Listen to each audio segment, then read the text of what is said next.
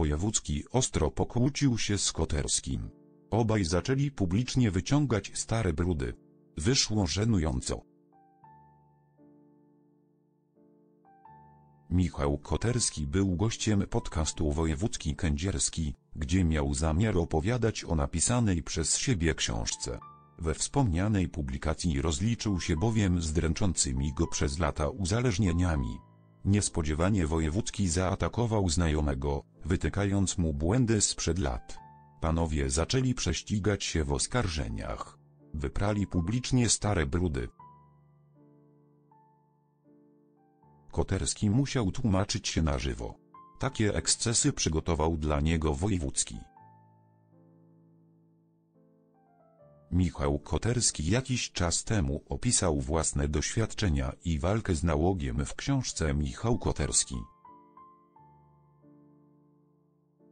To już moje ostatnie życie. Wówczas zaczął śmielej mówić w mediach o tym, że był narkomanem, który uzależnił się od substancji odurzających i alkoholu. Na szczęście, Koterskiemu udało się wyjść z trudnych chwil obronną ręką. Teraz stara się uwrażliwiać innych na temat uzależnień i dlatego wraca do przeszłości. Aktor postanowił odwiedzić Kubę Wojewódzkiego, który współprowadzi podcast Wojewódzki Kędzierski. Przed mikrofonem otwarcie poruszył trudne tematy. Nie mógł się spodziewać tego, co czeka go w trakcie wywiadu. Michał Koterski spiął się z gospodarzem podcastu Wojewódzki Kędzierski.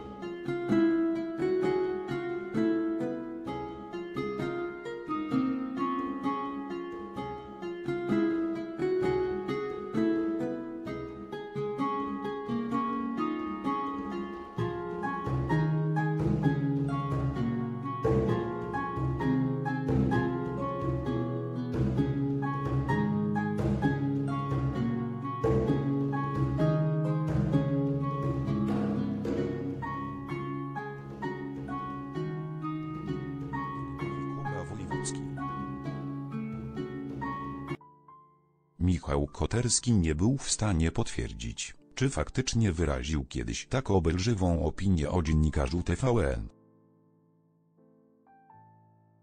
Nie zaprzeczył jednak temu, że faktycznie mogło się tak stać. Mimo luki w pamięci zreflektował się publicznie i w podcaście przeprosił Wojewódzkiego.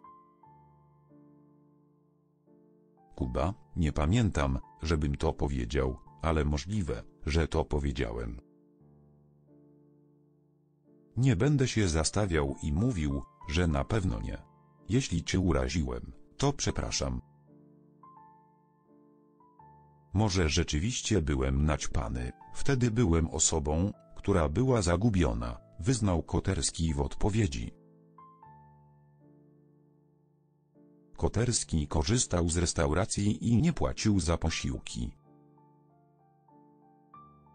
Na tym jednak konfrontacja obu panów się nie skończyła. Wojewódzki nie mógł bowiem przeboleć tego, w jaki sposób kolega, któremu zaoferował godziwą posadę, by pomóc mu odbić się od dna w trudnej sytuacji, opisał go w swojej książce. Jak przyznał, w tej książce jestem pokazany nie jako ktoś, kto się z tobą zakolegował, zatroszczył, dał ci pracę i moim zdaniem mocny wizerunek, ale jako ktoś, kto z tobą rywalizował, wspomniał. Wojewódzki zaznaczył przy tym, że prawda wyglądała zgoła inaczej, niż przedstawił to jego znajomy z branży.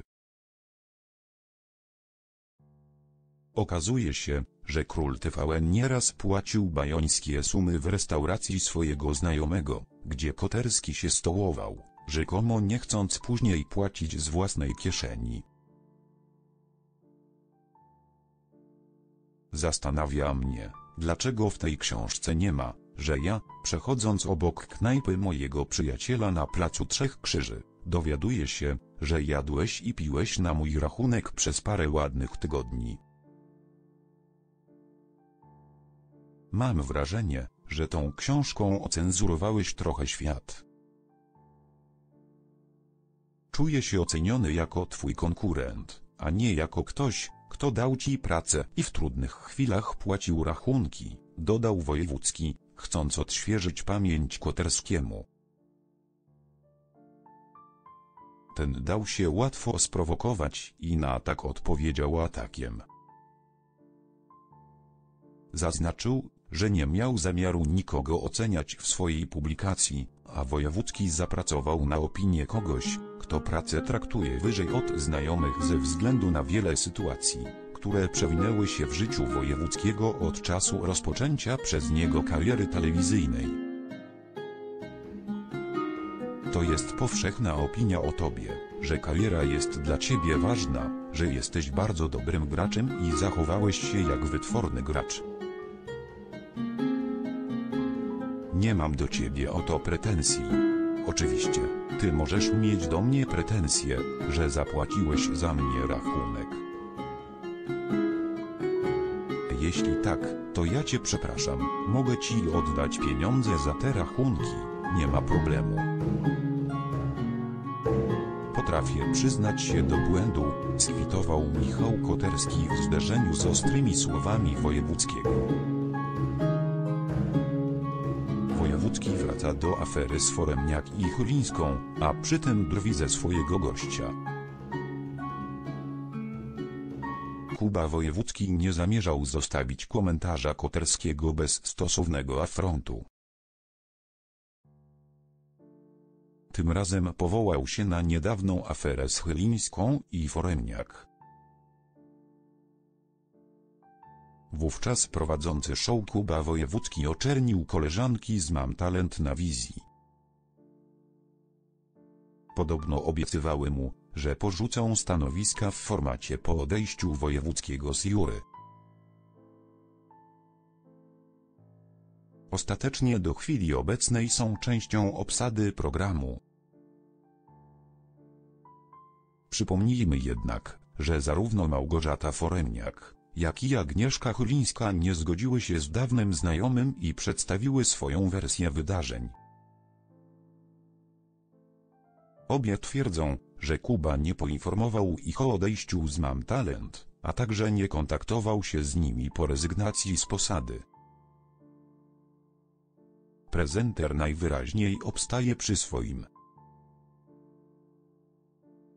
Ta sytuacja przypomina mi sytuację z Agnieszką Chylińską i Małgosią Foremniak. Pamiętamy pewne fakty zupełnie różnie. Jeśli postrzegałeś mnie, mój program, który był rozpędzony, przeszedł do TVN i miał duże powodzenie, jako konkurencję, że zaprosiłem Przemka Saleta do swojego programu, bo się bałem twojego programu, to myślę, że powinieneś napisać w tej książce jedno ważne zdanie. Narkoman nigdy nie będzie twoim lojalnym przyjacielem, podsumował Kuba Wojewódzki. Koterski stwierdził jednak, że nigdy nie łączyły go przyjacielskie relacje z prezenterem TVN.